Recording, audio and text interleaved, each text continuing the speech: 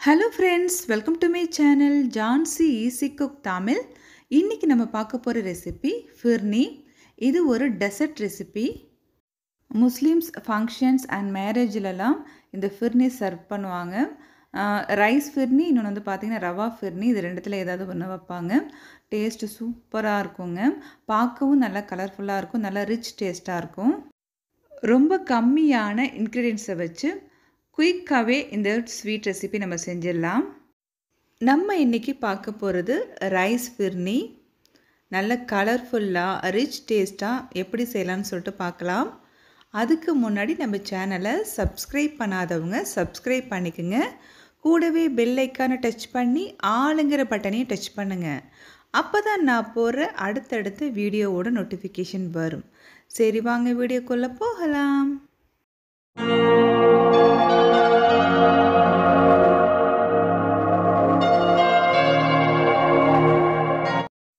பாஸ்மதி ரைஸில் தான் நம்ம வந்து ஃபிர்னி செய்ய போகிறோம் இந்த ரைஸில் ஃபிர்னி செஞ்சோன்னா டேஸ்ட் அண்ட் அரோமா சூப்பராக இருக்குங்க.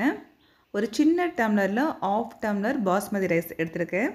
இது ஒரு பவுலில் நம்ம போட்டு டூ ஆர் த்ரீ டைம்ஸ் நல்லா வாஷ் பண்ணிக்கலாம்.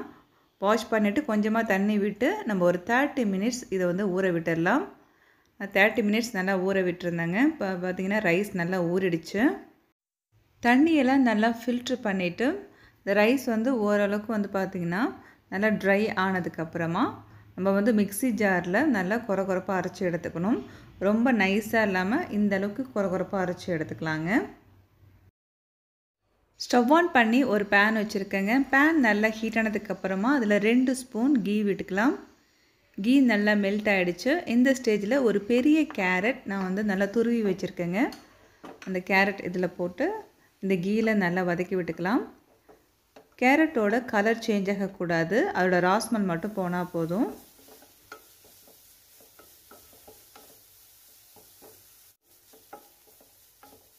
கேரட் ஓரளவுக்கு வதங்கியிருக்கு. அதோட ராஸ்மல் போயிடுச்சு. இப்போ நம்ம அந்த கிரைண்ட் பண்ணி வச்சுருக்கோம் இல்லையா? அரிசி. கொஞ்சம் திருத்திரியாக தாங்க இருக்கும். ரொம்ப பவுட்ராக இல்லாமல் ஓரளவுக்கு திருத்திரியாக தான் இருக்கணும். ஸோ இதை வந்து இந்த கேரட் கூட சேர்த்து இந்த கீலே நல்லா அப்படி மிக்ஸ் பண்ணி விட்டுக்கலாம். ஸ்டவ்வை மீடியம் ஃப்ளேமில் வச்சு தாங்க கிளறி விடணும். ஹை ஃப்ளேமில் வச்சு நம்ம கிளறி விட்டோம்னா நம்ம போட்டிருக்கிற இந்த அரிசி மாவு வந்து பார்த்திங்கன்னா திட்டு திட்டாக பிடிச்சிரும். அந்த கேரட்டோட கலரும் வந்து சேஞ்ச் ஆகிடுங்க கேரட் அண்ட் அரிசி மாவு ரெண்டுமே ஒன்றா சேராது. தனித்தனியாகவே இருக்கும். நம்ம இது போல் மீடியம் ஃப்ளேமில் வச்சு செய்யும் போது அந்த ஃப்ளேவர் அந்த ரொம்ப நல்லாயிருக்கும் இன்னொன்று வந்து பார்த்திங்கன்னா கேரட் அண்ட் அரிசி மாவு ரெண்டும் நல்லா மிக்ஸ் ஆகிடும் இந்த ஸ்டேஜில் நம்ம பால் ஆட் பண்ணிக்கலாம். Half litre full fat milk நல்லா காய்ச்சி வச்சுருந்தோங்க. நல்ல மிதமான சூட்டில் இந்த பால் வந்து நான் ஊற்றிக்கிறேன் நீங்கள் நினைக்கலாம் கேரட் கூட இந்த பால் சேர்க்கும் போது திரிஞ்சு போகிறதுக்கு நிறைய சான்சஸ் இருக்குது ஆனால் வந்து பார்த்திங்கன்னா காய்ச்சாத பால் ஊற்றினா தான் திரிஞ்சு போகும். நம்ம நல்லா காய்ச்சி மிதமான சூட்டில் ஊற்றுறதுனால இது வந்து திரிஞ்சு போகாது. கேரட் அரிசி மாவு அண்ட் பால் இது மூணும் நல்லா மிக்ஸ் பண்ணிக்கலாம். அந்த அரிசி மாவு வந்து கட்டி தட்டாத அளவுக்கு அப்பப்போ லைட்டாக கிளறி விட்டுக்கிட்டே இருக்கலாம். இந்த பாலில் அரிசி மாவு கேரட் நல்லா வேகணுங்க. அதனால் ஸ்டவ்வை மீடியம் ஃப்ளேமில் வச்சுட்டு ஒரு லிட்டு போட்டு க்ளோஸ் பண்ணி ஒரு டென் மினிட்ஸ் நம்ம இதை வேக விடலாம். டென் மினிட்ஸ் நம்ம மீடியம் ஃப்ளேமில் வச்சுருந்தோங்க. இப்போது லிட்டை நம்ம ஓப்பன் பண்ணியாச்சு. இப்போ பாருங்கள் எவ்வளோ சூப்பராக கேரட் அண்ட் அரிசி மாவு இதெல்லாம் எவ்வளோ நல்லா வெந்திருக்கு பாருங்கள் நல்லா திக்காக இருக்குங்க.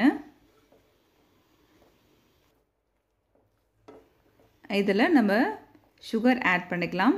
ஒன் கப் சுகர் சேர்த்துக்கிறேங்க. உங்களுக்கு எந்த அளவுக்கு சுகர் கூடுதலாக குறைச்சலாக வேணுமோ அதுக்கு தகுந்தப்போல் ஆட் பண்ணிக்கலாம்.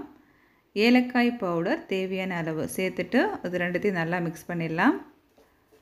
சுகர் ஆட் பண்ணணும் வந்து பார்த்திங்கன்னா இந்த டெசர்ட் வந்து இன்னும் கொஞ்சம் வந்து லூஸ் ஆகிடும் நல்லா இலகி வந்துடும் பாருங்கள்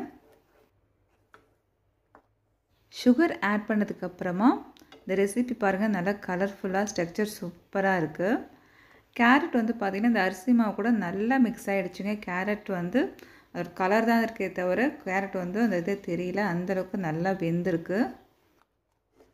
இந்த ரெசிப்பியை இந்த கன்சிஸ்டன்ஸில் உங்களுக்கு சாப்பிட பிடிக்கும்னா இப்போயே நீங்கள் ஸ்டவ் ஆஃப் பண்ணிடலாங்க. இது வந்து சாப்பிட ரெடியாக இருக்கும் இதில் மேலே வந்து நீங்கள் பாதாம் மட்டும் ஆட் பண்ணால் போதும். இல்லை எனக்கு கொஞ்சம் லிக்விடாக வேணும்னு சொல்லிட்டு ஆசைப்பட்டீங்கன்னா இதில் ஒரு ஆஃப் கப் பால் டூ ஸ்பூன் சுகர் ஆட் பண்ணிவிட்டு நீங்கள் மிக்ஸ் பண்ணால் போதுங்க.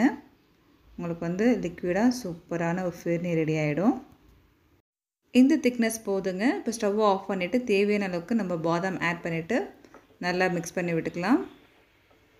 இதை வேறு ஒரு பவுலுக்கு நம்ம ட்ரான்ஸ்ஃபர் பண்ணிடலாம்.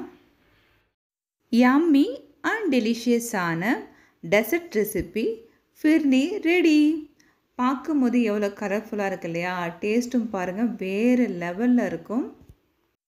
ஃபங்க்ஷன்ஸில் மட்டுமே சாப்பிடக்கூடிய இந்த ஃபிர்னியை நம்ம ஈஸியாக செஞ்சிட்டோம் பார்த்தீங்களா? இனிமேல் எப்போ உங்கள் கிட்ஸ் கேட்குறாங்களோ அப்போ செஞ்சு கொடுங்க. அவங்க ரொம்ப என்ஜாய் பண்ணி சாப்பிடுவாங்க. இந்த ரெசிபி பார்க்குறதுக்கு ரொம்ப பெருசாக தெரியுங்க. ஆனால் பார்த்தீங்கன்னா இது ரொம்ப கம்மியான இன்க்ரீடியன்ஸில் ரொம்ப குயிக்காகவே செஞ்சிடலாம். இந்த ரெசிப்பியை நல்லா சூடாக சாப்பிடும் போதும் நல்லா இருந்ததுங்க. ஃப்ரிட்ஜில் ஒரு ஒன் ஹவர் வச்சு எடுத்திருந்தேன். ஸோ அப்போ சாப்பிடும் போது அதுவும் நல்லா ஐஸ்கிரீம் டேஸ்ட்டில் ரொம்ப சூப்பராக இருந்தது. ஃப்ரெண்ட்ஸ் ஈஸியான மெத்தடில் டேஸ்டியான ஃபிர்னி ரெசிபி எப்படி செய்யலான்னு சொல்லிட்டு பார்த்துட்டோம் இல்லையா? இந்த ரெசிப்பியை நீங்களும் இன்றைக்கி உங்கள் வீட்டில் ட்ரை பண்ணுங்கள் உங்கள் ஃபேமிலி மெம்பர்ஸ் கூட என்ஜாய் பண்ணுங்கள் இந்த வீடியோ உங்களுக்கு கண்டிப்பாக பிடிச்சிருக்கும்னு நினைக்கிறேங்க. பிடிச்சிருந்ததுன்னா லைக் பண்ணுங்கள் ஷேர் பண்ணுங்கள் கமெண்ட் பண்ணுங்கள் அண்ட் மறக்காமல் சப்ஸ்கிரைப் பண்ணுங்கள் ஓகே தேங்க்யூ ஃப்ரெண்ட்ஸ்